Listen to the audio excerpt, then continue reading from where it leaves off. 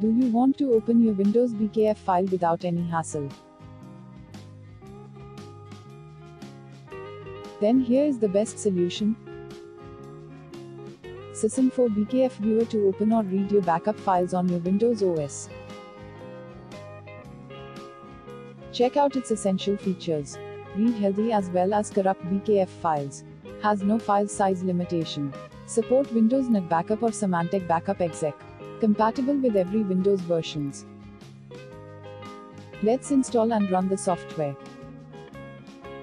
Select the Open button from the taskbar. Browse to your backup files in your system to preview it. Now select any scan modes on the basis of two range selector options, then click OK to start the scanning process. Now to preview your files choose any file the left panel.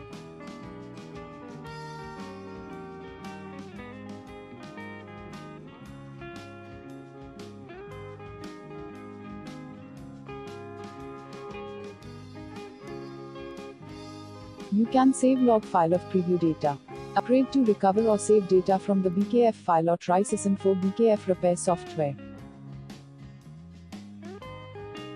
Hope you liked the video was helpful for you. For any query leave a comment in comment box below. Follow us on Facebook, Twitter and LinkedIn. For more updates do subscribe our channel.